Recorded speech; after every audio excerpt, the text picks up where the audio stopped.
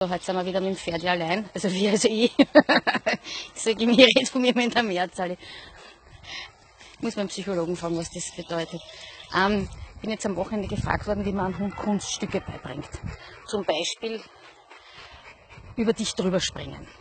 Das ist eigentlich ganz einfach. Zuerst muss der Hund einmal lernen, das Kommando Hopp. Das heißt, ich nehme irgendeinen Baumstamm, der im Weg liegt oder irgendwas, was im Weg liegt und lasse ihn mit dem Kommando springen mit ihm drüber. Also ich zeige ihm das vor und hupf mit ihm so lange drüber, bis er von sich aus hupft. Ja? Das ist die erste Instanz. Jetzt weiß er, was Hopp heißt. Die nächste Instanz ist also dieses Boxspringen, ist das Ziel. Ja? Bei uns bauen sich Übungen immer auf. Wenn er jetzt einmal verstanden hat, dass er über einen Baumstamm, ich habe jetzt natürlich keinen Baumstamm drin, oder warte, schau da. Komm, Fuzzi, Fertig. Fertig. Ferdinand. Geht's ja? Danke.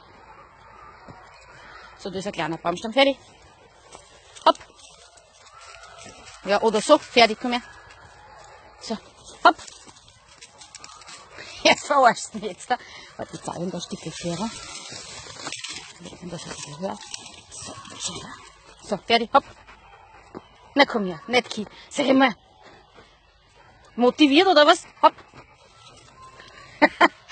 Ja, es gibt Hunde, die lernen schnell und es gibt Hunde, die brauchen ein bisschen. Fertig. Hopp. Gut. Mein Hund zeigt, dass auch Hundetrainer manchmal. Normal müsste ich das Video jetzt abbrechen, aber nein, wir stehen dazu. Okay, er wollte also nicht über den Baumstamm springen. So macht's es, ja. Und der Hund sollte dann drüber springen. Also, warte, ich hab gesagt, springt's mit. Warte, nein, nein. Mein Fehler, muss ich mitspringen. Wenn sie auf die Goschen hat und das Handy hieß, seid meine Zeugen, ich kann nichts dafür. Für die Versicherung natürlich. So, pass auf, den legen wir so her. Pferd hinein. So, da liegt jetzt ein Baumstamm. So, fertig, komm.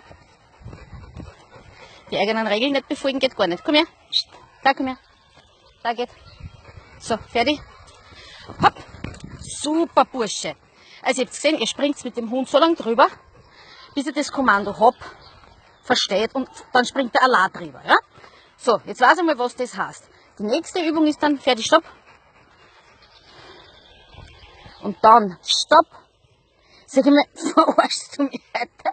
Stopp jetzt. Lass, sei nicht deppert, Stopp jetzt.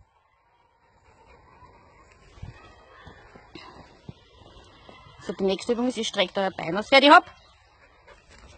Gesehen? Und dann springt er über euer Bein drüber. Wenn er das einmal Intus hat, dass er über euch drüber springt, also dass auch der Körper für ihn jetzt kein, kein Hindernis darstellt, dem er sich nicht stellen traut, dann brauchst du einen zweiten, weil das über deinen Rücken springen, wenn du die zusammenkauerst, da brauchst du einen zweiten dazu, weil das, der muss den Hund führen. Das heißt, jetzt brauche ich dann einen zweiten, das werde ich dann am, am Wochenende mit meiner Tochter machen. Die springt als erstes über mich drüber und er muss dann als zweites über mich drüber springen. Dass er einmal sieht, was gemeint ist. Hunde lernen einfach viel leichter, wenn sie mal sehen, um was es geht. Also alles, was du, dass der Hund willst, alles, was du willst, dass der Hund tut, zeige ihm einmal vor. Oder natürlich im Optimalfall hast du einen Hund, der das schon kann, der dem Hund das zeigt. Aber Tricks, so wie bei mir, bauen sich auf. Weil wenn ich am gleich über den Fuß drüber springen lasse, das ist schwieriger. Über einen Ast springen ist einfach leichter. Und ich mag, dass meine Hund einfach mit Freude arbeiten. Ich versuche möglichst wenig Druck zu geben und im, im, im Endeffekt mit wenig Kommandos. Das Hobby ist halt, ist jetzt kein schlimmes Ding, aber Übungen einfach aufbauen. So richtig Schritt für Schritt, bis die Übung dann nach vier, fünf Schritten wirklich so fertig ist. So haben wir ja auch, fertig, komm her, die Übung durch die vier durchgemacht. Fertig? Fertig. Fertig. Jetzt Konzentration bitte. Fertig. Da haben wir angefangen. Fertig. Das ist jetzt geht fertig. Immer zwischen meine vier. Das ist ein bisschen schwierig. Sehr gut. Good boy. Da haben wir auch angefangen, dass er einmal zwischen meinen Beinen geht. Auf Kommando. Das macht er auch. Hat es gemacht. Zeigen. Fertig, komm her. Das verwechselt er nur leider oft. Fertig. Also ihr seht, er geht zwischen meinen Beinen. Da brauche ich nichts sagen, da bleibt er stehen, wenn ich stehen bleibe, da geht er, wenn ich gehe. Super Bursche. das beendet der Übung immer damit, dass ich den Fuß über ihm drüber gebe und er ruhig stehen bleibt. Ähm, die Übung durch die Füße durchgehe habe ich so aufgebaut, dass er mal zwischen meinen Beinen gegangen ist, damit er da die, die Angst verliert, damit es für ihn was ganz Normales ist, zwischen Füße geht. Ja? Natürlich auf Kommando. Also es ist jetzt nicht dran, dass jemand Leute zwischen Füße rennen. Ja? Der Unterschied. Nachdem er da dann für das für ihn normal war, zwischen den Beinen zu gehen, dann habe ich ihn mit dem Leckerli durch die Füße durchgelassen. Das war dann eigentlich in dem Moment, wo du die